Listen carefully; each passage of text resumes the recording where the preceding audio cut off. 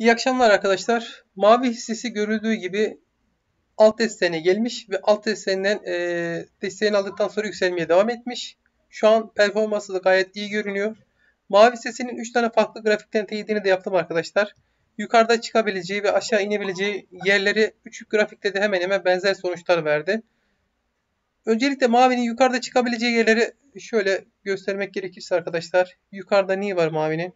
Ben bunları yazacağım ve farklı grafikten teyidini de yapacağım hatta. Yaptım ama sizin görmeniz için. Yukarıda arkadaşlar yaklaşık e, %15'i var.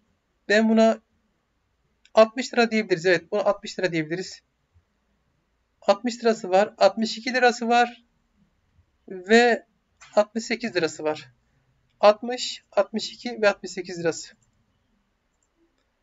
60 lirası var.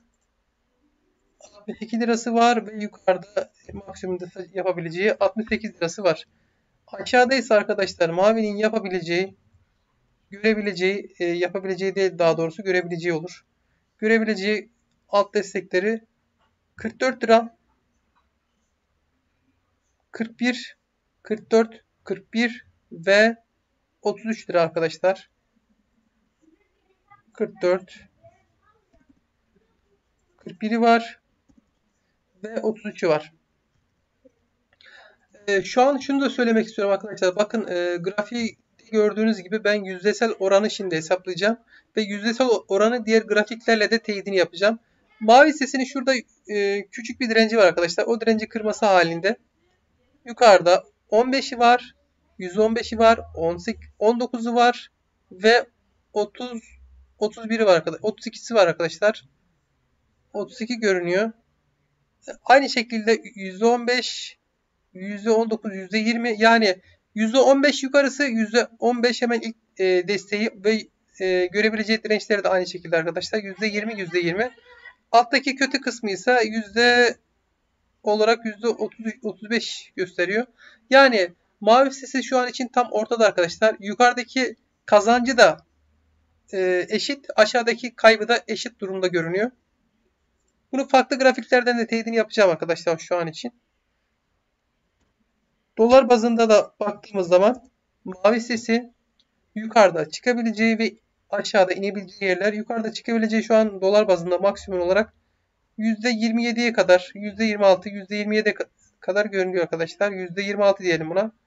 Aşağıda ise %24 kırması halinde şuradaki saçakları da yapabilir. %27-28. Yani dolar bazında da ortada arkadaşlar. Yani yukarısıyla aşağısı aynı görünüyor. Yüz endeksi grafiğiyle de kıyasladığımız zaman da aynı şeyi veriyor.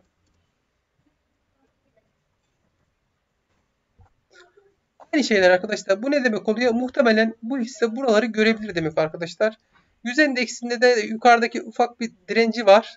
Ee, yaklaşık %5'lik. Orayı kırması halinde %18 ve şu spekül olarak da belki şuralarda yapabilir. %20'ler 7'ler diyor. Burayı yapabilir.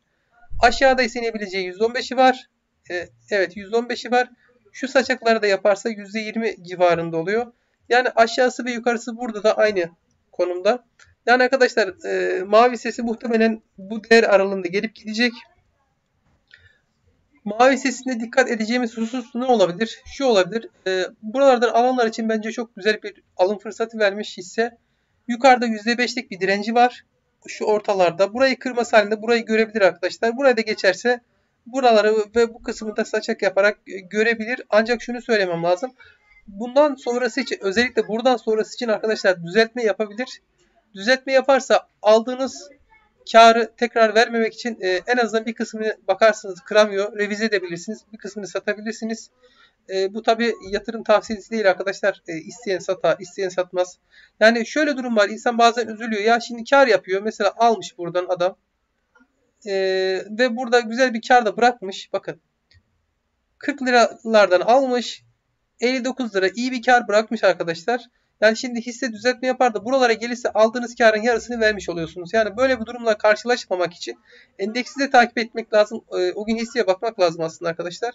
Yani e, tercih size kalmış ama bu e, dirençleri falan var. Bu dirençleri kıramazsa bakın şuradaki düzeltmeleri yapabilir. Bilginiz olsun.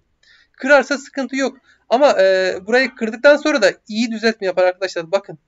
Şu şöyle düzeltmeye de kalabilirsiniz bilginiz olsun.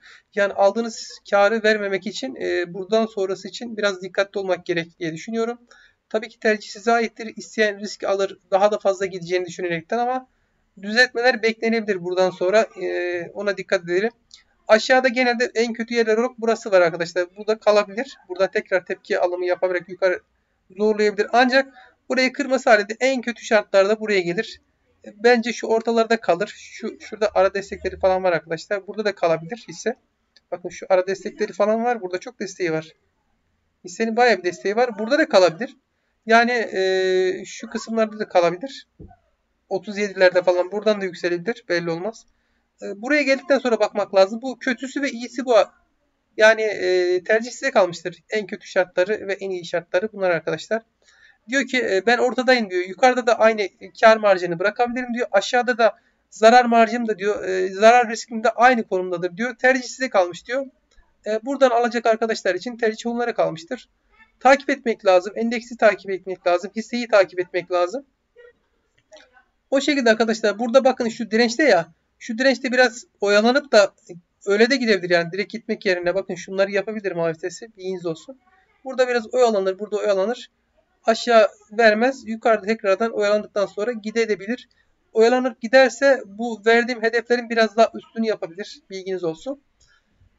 Tekrardan e, farklı bir teknik analizde görüşmek üzere. Hoşça kalın arkadaşlar. Sağlıcakla kalın. Bu videoları like atarak ve kanalıma abone olarak destek olursanız mutlu olurum.